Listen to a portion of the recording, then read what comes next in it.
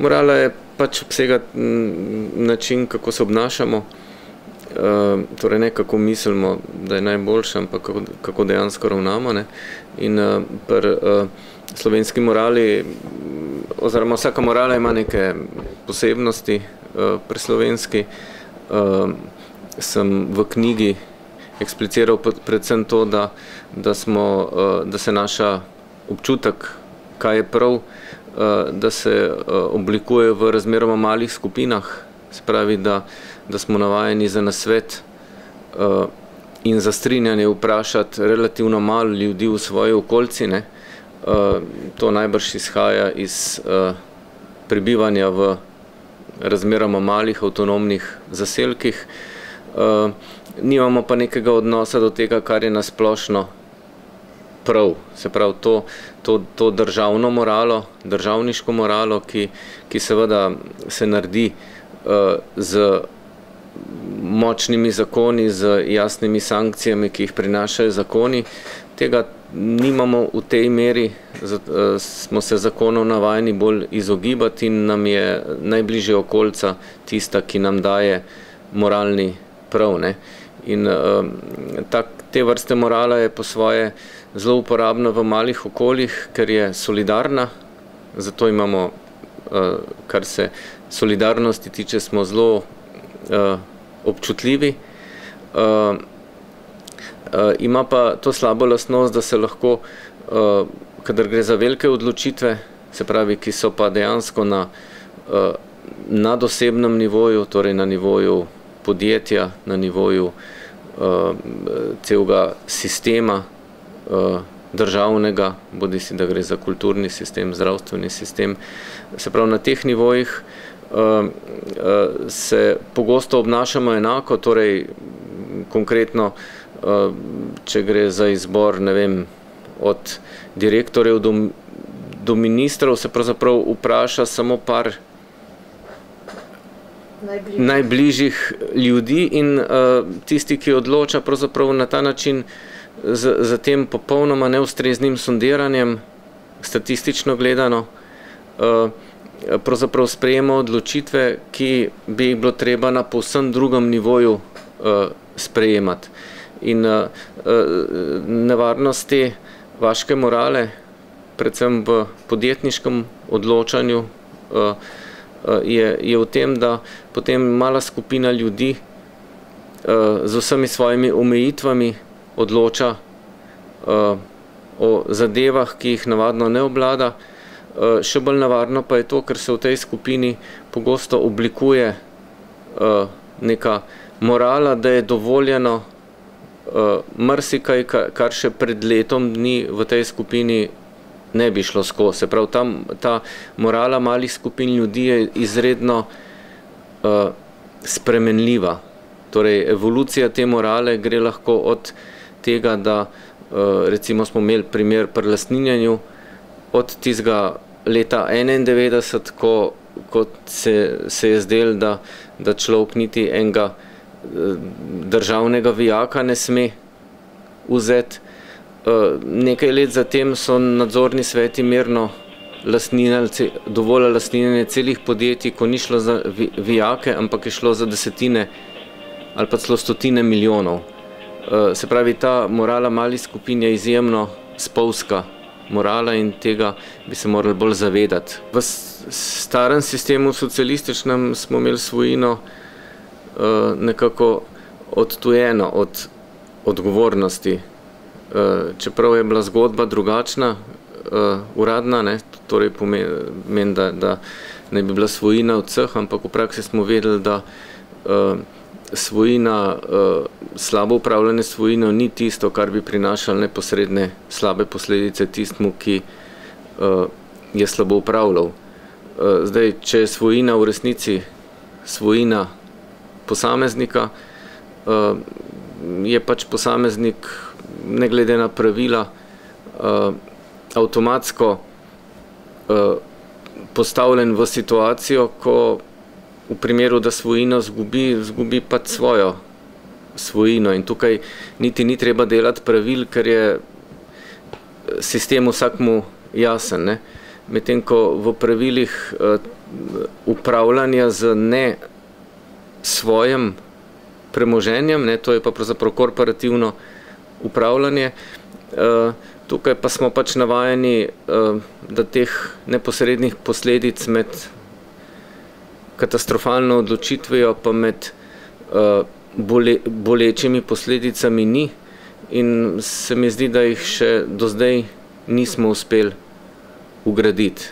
Se pravi, tisto, kar je na nivoju privatne svojine samo po sebi umevno, se pravi tista palca, ki sledi takoj slabi odločitvi, je v teh uh, posredniških oblikah upravljanja, ki pa je seveda realnost, kajti tudi takoj, ko imamo večje sisteme, uh, je upravljavc ponovati teh sistemov vedno tisti, Eh, ki nima svojine dejansko, ampak samo znanje.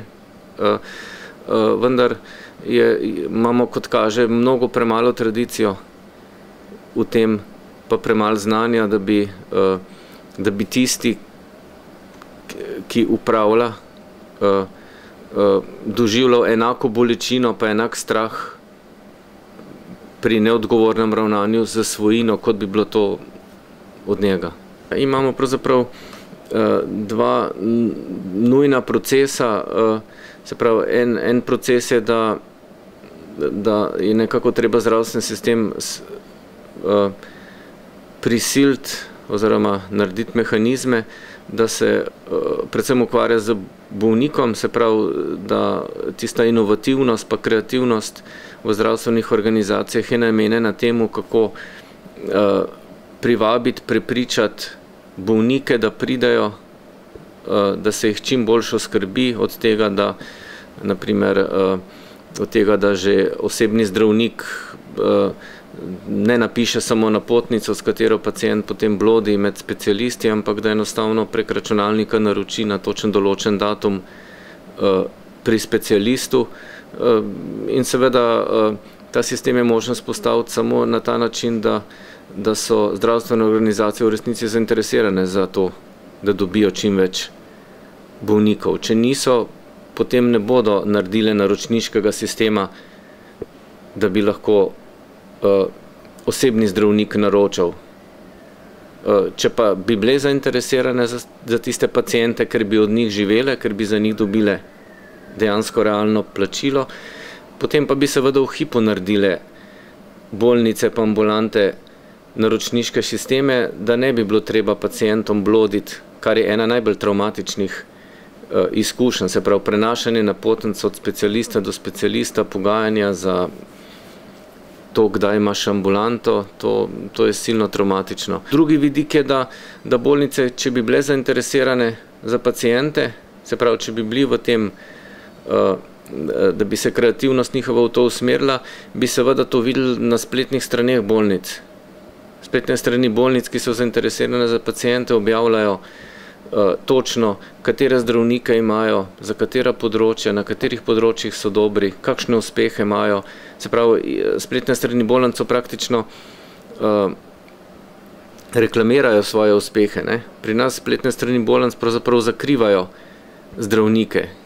Se prav trudijo, da pacijent ne dobi toliko informacij o zdravniku, da bi mu lahko pisal elektronsko pošto, da bi ga lahko poklical, so ponovadi samo šefi oddelkov.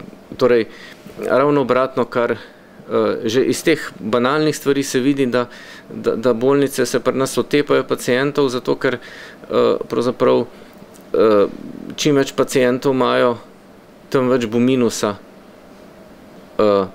In je proces prav obraten in to ne gre za financiranje, ampak gre za to kreativnost, ki se potem ne usmerja v privabljanje pacijentov. Ne? In zdaj uh, uh, drugi veliki problem je pa to, da se evropski trg zdravstvenih storitev odpira in da bolnice v, pa klinike v naši soseščini so v tem smislu že kreativne, kar pomeni omogočajo naročanje brez vrst, omogočajo naročanje po internetu, omogočajo uh, na njihovih spletnih straneh piše, kaj oni dobro delajo, v čem so dobri. Potem je posledica čisto jasna, odliv naših pacijentov v klinike v Avstriji, na Hrvaškem, kar se že dogaja. Ne? Uh, recimo zobozdravstveno področje je že uh, izjemno odlito, slikovna diagnostika se odliva, potem področja kot so uh, uh, oftalmologija, naprimer, uh, uh, ali pa uh, estetska kirurgija se tudi odliva in, uh, in zaradi tega potem uh, pridemo hmalo lahko v situacijo in to je v roku nekaj let, ko bo naša država še vedno mogla vzdrževati naše bolnice, ampak te bolnice bodo če dalje manj služile svojemu namenu, kar pomeni, da bodo na enoto proizvoda, če tako rečem, vedno dražje in hkrati nekonkurenčne. In uh, to lahko dejansko pomeni potop. Po drugi strani bo pa zavarovalnica mogla pacijentom plačevati, da kupujejo zunaj. In če se to dvoje združi, to pomeni, da, da bo uh, naša uh, medicina oziroma naš zdravstveni sistem hmalo mogel prositi, da pride nekdo od zunaj, pa začne upravljati z našimi bolnicami. Uh, kaj vem, zavarovalnica, neka tuja, pride zunaj in začne delati po principih, kot delajo zavarovalnice, se pravi, da naredijo bolnice privlačne. Uh, in je pravzaprav veliko boljš, da to naredimo mi, kot pa da čez pet let v ta sistem privlečemo neke druge zavarovalnice, da bi reševali naše bolnice, podobno kot zdaj rešujejo, uh, kot rešujejo naša podjetja, tovarne, uh, letališča, vse mogoče. Ne? Uh, ker če se to zgodi, bomo, ker če bodo tuje čez pet let reševali naše zdravstvo, bo to pomenilo, da bomo mi morali brez pogajanj začeti plačevati enake prispevke za zdravstveno zavarovanje, kot ga plačujejo naprimer Nemci in to pri naših plačah.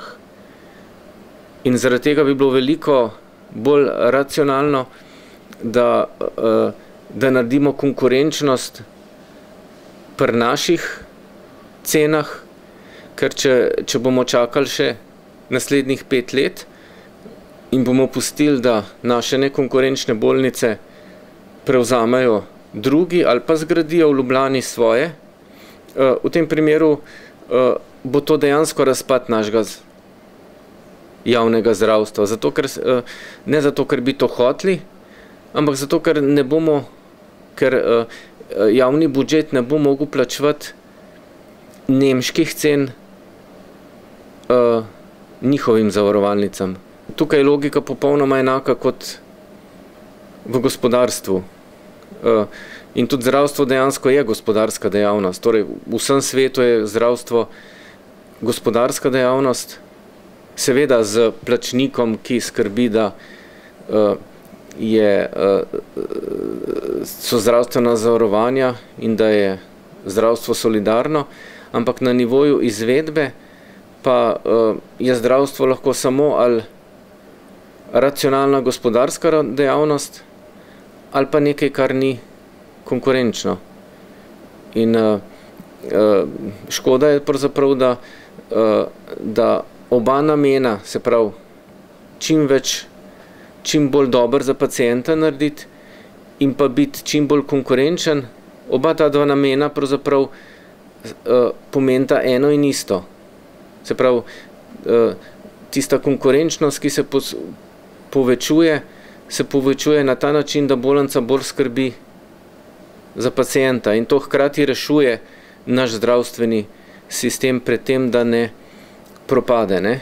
In nekako zdravniki smo se odločili, da eh, na to opozarjamo uh, še prej, kot uh, smo se odločili biti boljši, kot so bili ekonomisti, ki niso zelo dobro opozarjali, kaj se bo zgodilo z tovarnam pa s podjetji, ali pa kot so bili bančniki, ki tudi niso zelo dobro opozarjali, kar se bo zgodil.